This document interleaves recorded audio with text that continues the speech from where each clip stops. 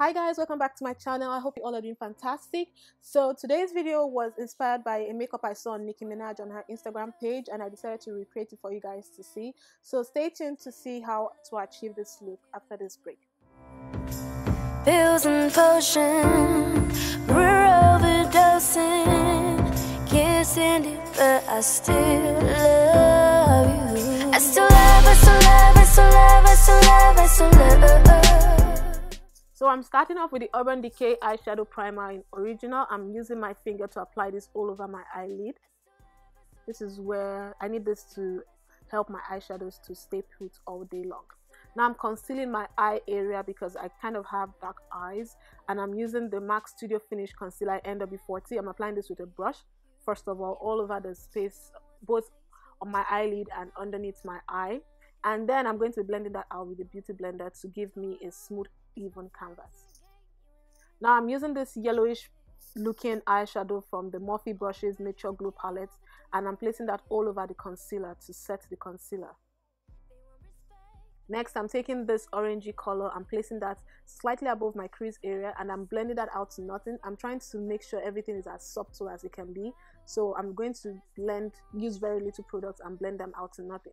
Now I'm taking this dark purple or dark brown, whichever you choose to call it, I'm creating a new crease for myself by applying it slightly above my crease and then I'm blending it out to a very subtle finish.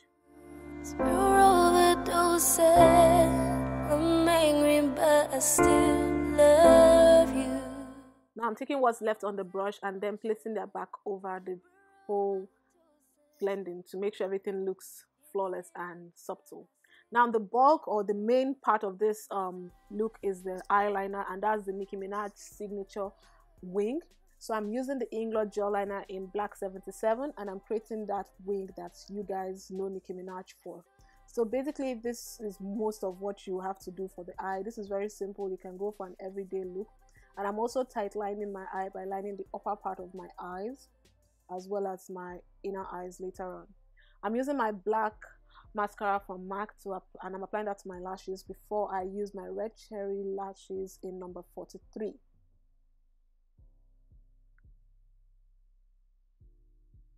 Now I'm taking back another brown color and I'm going to be placing that slightly at the outer V of the new crease I created to kind of dip in that place and give it like a cut crease sort of look.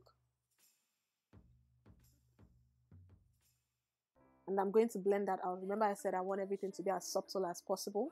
So blend, blend, blend. And with that, we're pretty much done with the eye look for now.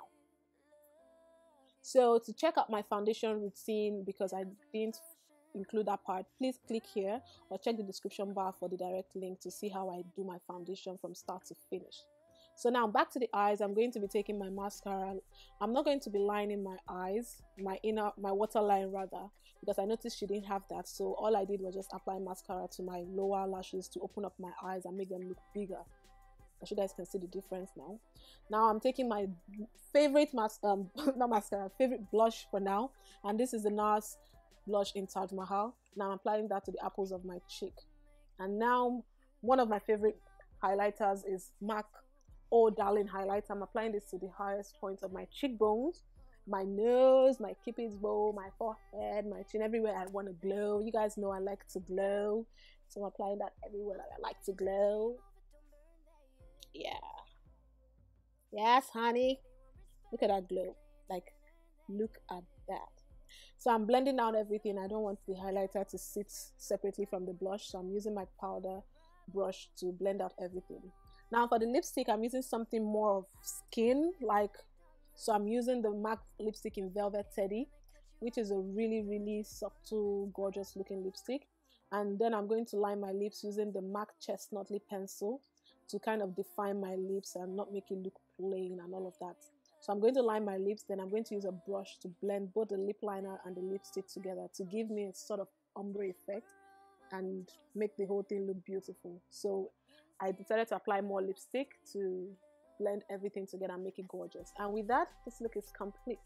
So I hope you guys enjoyed this tutorial and if you're yet to see the video on how I achieved this hair then please click the link at the end of this video or check the description bar for the direct link to the video.